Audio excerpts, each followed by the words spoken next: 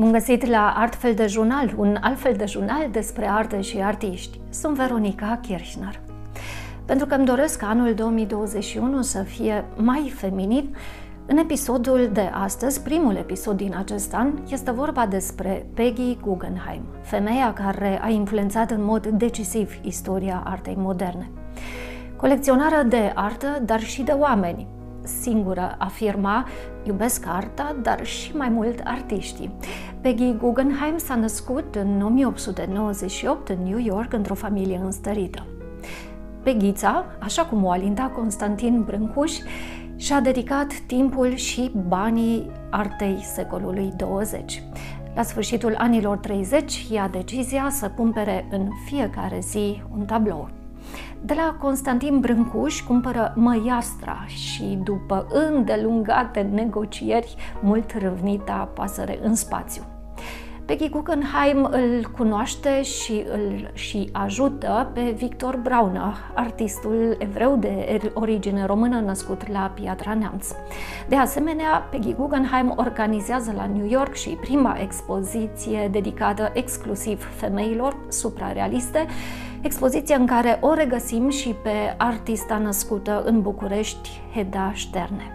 Episodul se bazează pe mărturisirile lui Peggy Guggenheim din volumul Confesiunile unei dependente de artă, volume apărute în limba germană și în limba română. Le vedeți deosebirea.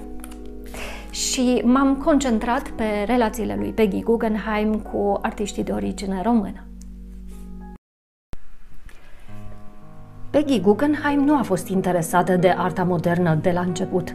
La sfârșitul anilor 30, fiind plictisită și izolată la țară în Anglia, a început să se gândească la modalități de a-și petrece timpul și de a deveni utilă. Pentru că editarea de cărți i s-a părut prea costisitoare, a deschis galeria de artă Guggenheim Jeune.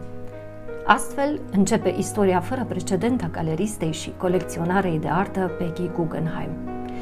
Consilier i-a fost la început de drum Marcel Duchamp, artistul care a revoluționat arta modernă cu ideea de ready-made și care a trebuit să o educe în întregime în ceea ce privește arta modernă. Prima expoziție a galeriei trebuia să fie dedicată lui Constantin Brâncuș, dar pentru că sculptorul nu se afla atunci în oraș, a fost invitat Cocteau. Mai târziu, Peggy Guggenheim cumpără măiastra lui Brâncuș, prima lui pasăre din 1912, minunată, cu burta mare, cum scrie Peggy, dar colecționarea tânjește după o alta, după pasărea în spațiu. Din confesiunile lui Peggy Guggenheim. Brâncuș era un bărbat micuț și extraordinar, cu barbă și ochi întunecați și pătrunzători pe jumătate țăran isteț, pe jumătate zeu adevărat. Te simțeai foarte fericită alături de el, dar din păcate a devenit prea posesiv cu mine și voia să-i dedic tot timpul meu. Îmi spunea Peghița. Se întorsese de asemenea și în România, țara lui, unde guvernul îi ceruse să construiască monumente publice. Era foarte mândru de acest lucru. Își dusese mare parte din viață într-un mod foarte auster, dedicând-o în întregime operei sale. Brâncuș își lefuia toate sculpturile de mână. Cred că de asta erau atât de frumoase. Această pasăre în spațiu avea să-i dea de lucru timp de mai multe săptămâni. La momentul la care a terminat-o, Nemții erau lângă Paris, iar eu m-am dus și am adus-o cu mica mea mașină ca să o împachetez și să o expediez la timp. Pe fața lui Brâncuș curgeau lacrimile. Am fost, sincer, mișcată. N-am aflat niciodată de ce era atât de tulburat, dar am presupus că era din cauza că se despărțea de pasărea lui preferată. În al doilea an al galeriei, Peggy Guggenheim îi organizează o expoziție minunată lui Yves Tanguy, prin care ajunge să-l cunoască pe Victor Brauner, artistul suprarealist evreu de origine română, născut la Piatra Neamț. Pictura acestuia, suprarealistul, face parte acum din colecția Fundației Peggy Guggenheim din Veneția. Scriitorul Ernesto Sabato a relatat în romanul despre eroi și morminte despre accidentul din 1938 al lui Victor Brauner, accident văzut de acesta ca o mână a destinului, în urma căruia artistul își pierde un ochi.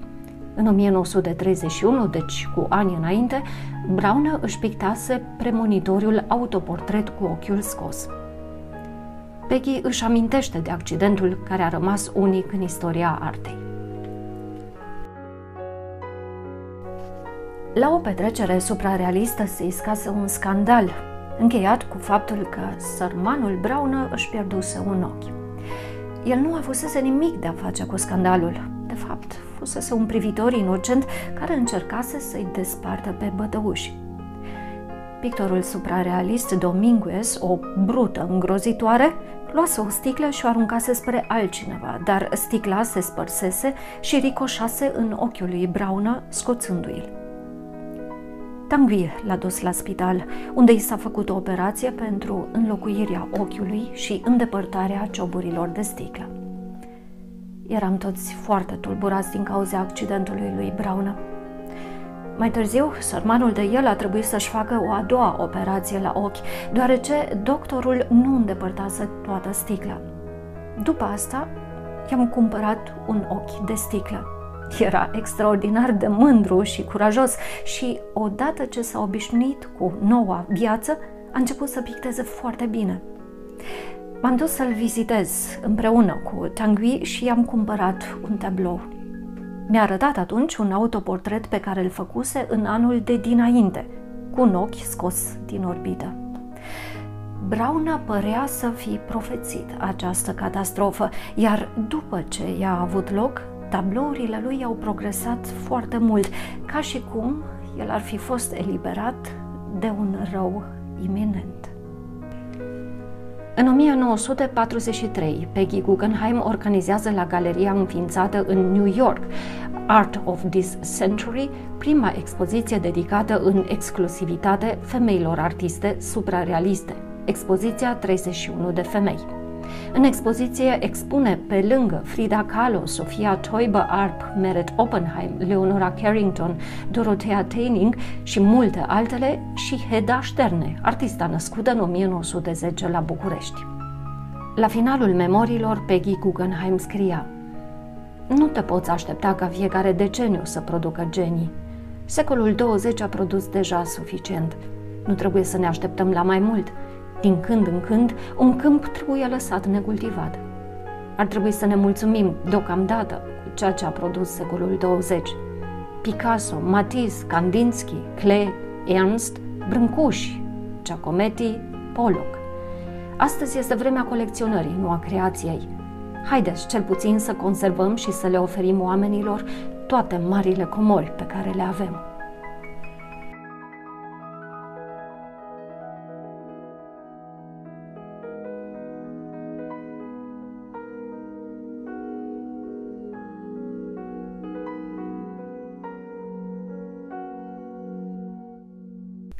Dacă doriți să aflați mai multe despre Victor Brauner, vă invit să vedeți sau să revedeți episodul cu numărul 7, Artfel de Jurnal. În viitorul episod, Artfel de Jurnal, este vorba despre un alt iubitor de artă, despre un alt dependent de artă, și anume despre Stephen Elcock.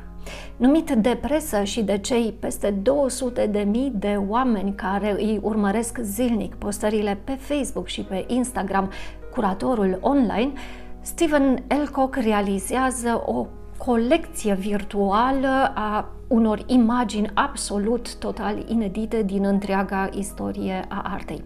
O selecție a acestor imagini o puteți vedea în volumul All Good Things editat de, și realizat de Stephen Elcock.